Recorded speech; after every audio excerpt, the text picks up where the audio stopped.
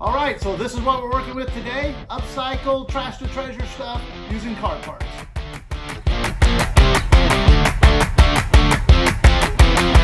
Okay, what we're working with today, um, I got this old ashtray, this old GMC gas cap, and this old spinner hubcap. So we're gonna make three different projects. Let's get started. We'll do one at a time, and at the end, I will do the highlight reel and show them all. These are gonna be quick, simple, easy, and super cool.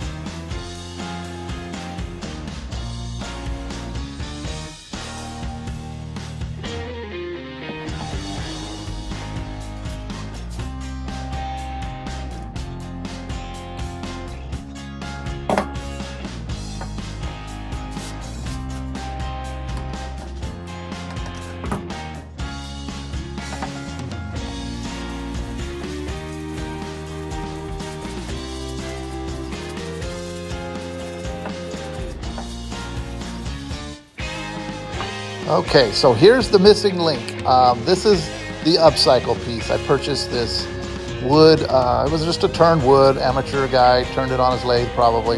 Um, but nice piece. Gonna put the cap there and make a cool little valet tray.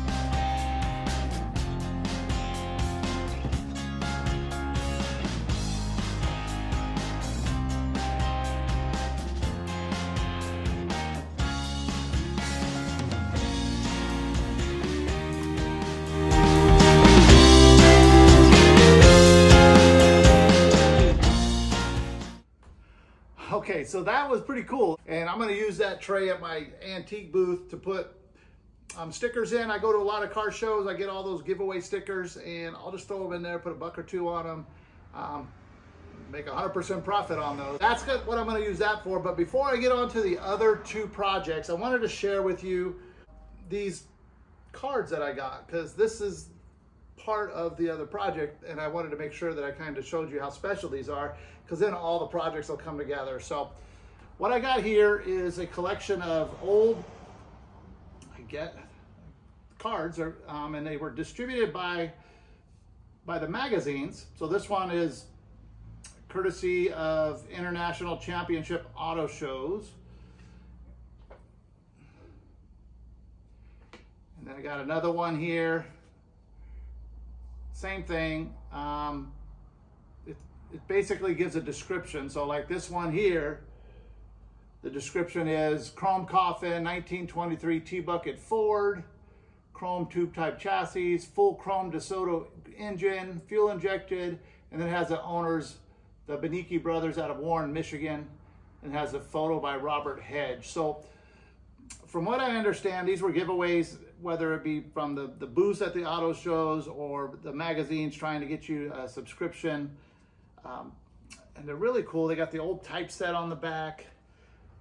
But yeah, they're pretty cool. And they're gonna be part of the next project.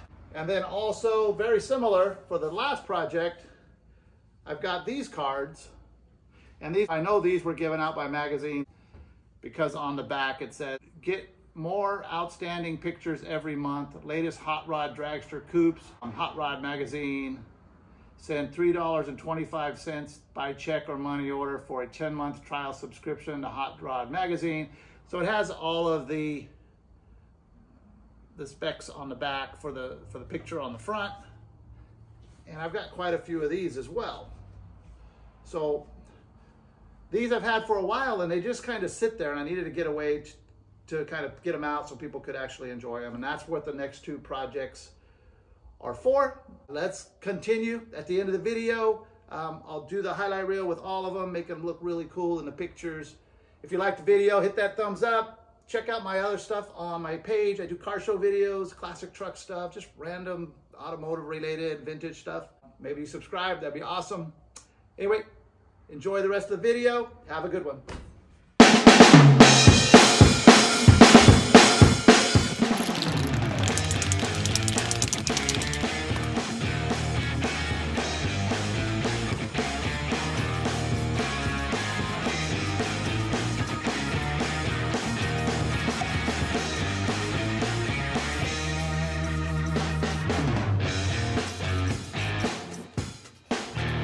All right, so I'm not sure if this is really a project more than a uh, quick flip. So got it sprayed up and then now I'm gonna add some rubber feet to the bottom of this thing. I'm putting them right here towards the top, one on each side, and then you're gonna notice, you know, trying to get the right angle of the uh, ashtray. It's actually gonna be a tray, but it's gonna be a picture tray. So to get the right angle, I put the two on the back, I put a couple two on the front, push them down, and now I got the right angle. And then I'm just gonna store those old cards in there like that. Nice little display piece.